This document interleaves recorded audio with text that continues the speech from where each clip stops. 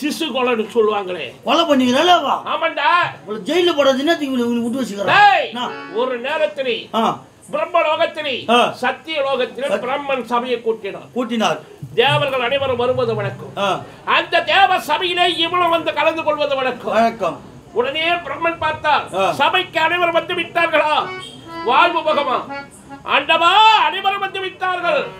கங்கை மட்டும் வரவில்லை. வரவில்லை. அந்த நேரம் பார்த்துதான் இவன் உள்ள நுழைகிறார் நோயிரா ஆண்டவா இதை நான் வந்து விட்டேன் எந்த நேரம் பார்த்தாலும் அந்த வாழ்வு பகவானுக்கு என்ன குறை சொல்றதே போய் தான் போச்சு. அப்படின்னு ஒரு வார்த்தை சொன்னா இவன். அதானே. ஆம்பளை பேச்சோட பொம்பளை அடக்கமா தான் இருக்கும். வந்தது நேரம் பொத்து வந்துட்டு அரிய சபையில ஒரு ஆம்பளை பத்தி பேசலாமா இவன்? பேசலாமா? உடனே வாழ்வு பகவானுக்கு கோவம். வந்துச்சு. தன்னுடைய காத்தின் வேகத்தை ஊதுனான் ம். இவன் மேலால பறந்து போச்சுடா. இல்லைங்க ஒண்ணும் இல்லை சொல்லு.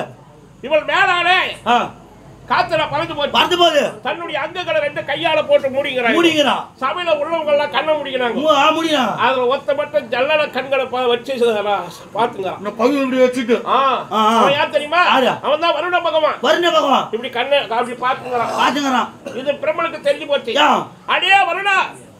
ஒரு பெண்ணாக பிறந்தவள் மேலாளை இழந்து தன்னுடைய மானங்களை காப்பாற்ற வெண்மனுக்காக கரங்களை கொண்டு தன் அங்கத்தை மறைத்து கொண்டிருக்கிறார் அனைவரும் கண்ணை மூடிவிட்டார்கள்.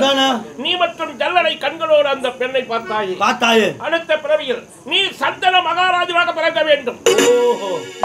காட்டிலே கங்கையாக இருப்பாள். ஆ. அப்பொழுது நீங்கள் இருவரும் ஒன்று சேர்ந்து இல்லறத்தில் ஈடுபட்டு மீண்டும் சத்தியலோக வாருங்கள். பாருங்கள் சாபம் கொடுத்து அனுப்பிச்சுட்டான் அதே போல சந்தன குலத்துல சந்தன மகாராஜன் அவன் இருந்தான் இவ காட்டில கங்கையா இருந்தா மன்னவன் வேட்டையாடி விட்டு தண்ணீர் குடிக்க தண்ணி கொண்டான் அந்த தன் கையிலே இவள் அழகான முகம் தெரிஞ்சது. தெரிஞ்சது. பேயோ என்று ஆனா ஆண்டவா அலராதி நான் பெண் தான். உன் கரப்பட்டவுடைய தண்ணீராக இருந்தவள் பெண்ணாக மாறிவிட்டு ஆ. இவள் அழகை கண்டான் மன்னவன். உன்னை திருமணம் செய்து கொள்ள வேண்டும் என்று மன்றாடினான். மன்னா உன் விருப்பத்திற்கு நான் இங்குகிறேன் ஆனால் என் விருப்பப்படி நீ நடக்க வேண்டும். நடக்க வேண்டும். நான் உன்னை திருமணம் செய்து கொண்ட பிறகு என்ன செயல்கள் செய்தாலும். அது உனக்கு தவறாக இருந்தாலும் என்னை ஏன் எதுக்குன்னு கேள்வி கேட்க கூடாது. கூடாது. அப்படி கேள்வி கேட்டா. அச்சனமே உன்னை விட்டு நான் பிரிந்து விடுவேன். விடுவேன். இதற்கு சம்மதம் என்றால். என்னை திருமணம் செய்து கொள்ளும் மன்னவன் விருப்பத்தோடையே இவனுக்கு சத்தியம் செய்து கொடுத்து விட்டு. இருவருக்கு திருமணம் நடந்தது. உடனே எல்லாத்தில் ஈடுபட்டார்கள். அழகான ஒரு ஆண் குழந்தை பிறந்தது. பிறந்த உடனே கொண்டு போய் ஆற்றில வீசி எறிந்து விட்டார்கள் தாமா தாம இருக்கிறான். குழந்தை பத்துக்கிறதுக்கா ஒரு பெத்ததுமே ஆத்துல போட்டானா? கொண்டு போய் முதல் குழந்தை போட்டான். இரண்டாவது பிறந்தது அதையும் வீசினார் ஆ. இப்படி ஏழு பிள்ளைகளை கொண்டு போய் ஆற்றிலே வீசி கொண்டு விட்டார் அதானே. எட்டாவது குழந்தை கர்ப்பமாக இருக்கிறது. நாட்டு மக்கள் அனைவரும் ஒன்று கூடினார்கள். ஒன்றா இரண்டா ஏழு பிள்ளைகளை சாகடித்து விட்டாலே. எட்டாவது பிள்ளை நாட்டிற்கு வாரிசாக வர வேண்டும். வர வேண்டும். மன்னரிடம் முறையிட்டார்கள். மன்னவன் புத்திக்கு சிந்தனை தெளிவானது. காதலை மறந்தான். நேராக வந்தான் குழந்தை பிறந்தது. இவன் வழக்கமாக வீசி எறிய போனார். கங்கா நில். எதற்காக இந்த குழந்தை வீசி எறிகிறார் மன்னா ஒன்றா இரண்டா? ஏழு பிள்ளைகளை பற்றி நான் வீசி எறிந்தேன். அந்த நேரத்தில் இந்த பிள்ளை பாசம் உனக்கு வரவில்லை. இப்பொழுது எங்கு வந்து விட்டது உனக்கு நேசம்? எப்பொழுது என்னை எதிர்த்து நீ வார்த்தை அடிவிட்டாயோ இனிமேல் உன்னோடு இருக்க மாட்டேன். குழந்தை எடுத்துக்கொண்டால் கால நேரம் வரும்பொழுது உன் மகன் முன்ன வந்து சேருவான் என்று குழந்தையோடு நாட்டை விட்டு போய்விட்டார். அந்த நேரத்தில் தான் அவன் தாண்டா எட்டாவது பிள்ளை பீஷ்மர். பீஷ்மர். கங்கைக்கு பிறந்ததனால் காங்கேயன். காங்கேயன். தேவர்களால் சூட்டப்பட்ட பெயர் தேவ விருதன் தேவ விருதன் தன்னுடைய தந்தைக்காக தன் தந்தையின் வயிற்றிலே பிறக்கும் தன் தம்பிகளுக்காக. திருமணம் என்பதை செய்து கொள்ளவில் செய்து கொள்வதில்லை என்று சபதம் ஏற்றார். ஓ. பீஷ்மம். பீஷ்மம். அப்பதான் பீஷ்மர்னு அவருக்கு பேர் வந்தது. பேர் வந்தது. இரண்டாவது சித்தியாக வந்தது யார் தெரியுமா? மத்த கத்தி பரிமள கத்தி என்று சொல்லக்கூடிய பருத்தவர் என்று சொல்லக்கூடிய மீனவர் குலத்திலே பிறந்த பெண்ணை. இரண்டாம் தரமாக சந்திர மன்னன் திருமணம் செய்து கொண்டார். ஓ. பீஷ்மர் விசித்திர விரியன் சித்திராங்கதன் மூன்று குழந்தைகள் பிறந்தது. பிறந்தது. அந்த சிற்றனை பொருட்டி சத்தி மன்னார். அப்பேற்பட்ட பீஷ்மர் தான் இவ எட்டாவது புள்ளியா பிறந்தவோ. ஏன் அவன் மட்டும்? உயிரோடு இருக்கலாம். ஏழு பிள்ளைங்க செத்தாங்க. அவங்க எல்லாம் அஷ்டவசுக்கள் ஆ. தூர்வாச முனிவருடைய ஆசிரமத்தில் இருக்கக்கூடிய காமதேனு பசுவை திருட துணையாக இருந்தார்கள். அதனாலதான் தூர்வாச சாமி கொடுத்து விட்டார். தன் மனைவிக்காக தன் மனைவி சிற்றின்பத்திற்காக எப்பொழுது ஏழ்வரோடு வந்து இந்த பசுவை களமாடினாயோ.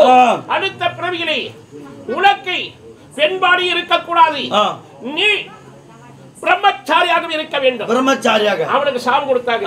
உனக்கு உதவி வந்த அஷ்டவசுக்கள் ஏழு பேரும். பிறந்து ஒரு நிமிடம் இறந்து மீண்டும் தேவலோகம் வர வேண்டும்.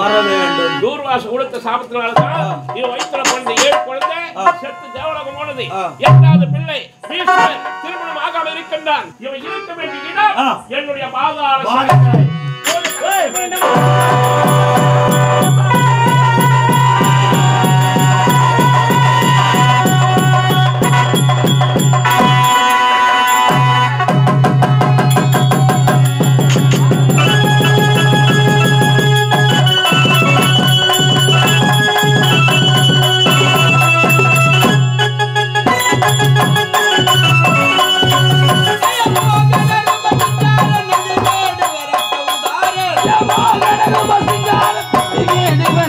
வாருங்கள்.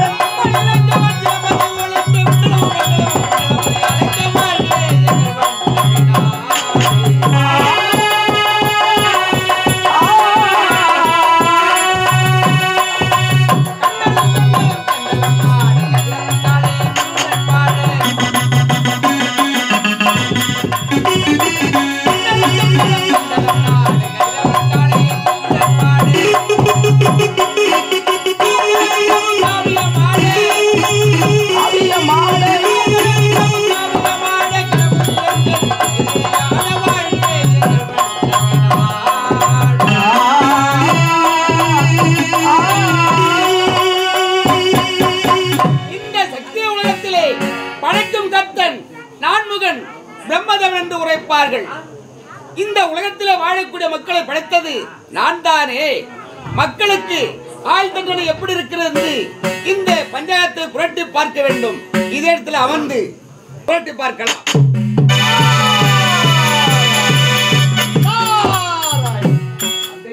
நாரதா. போத்தி நின்றேன்.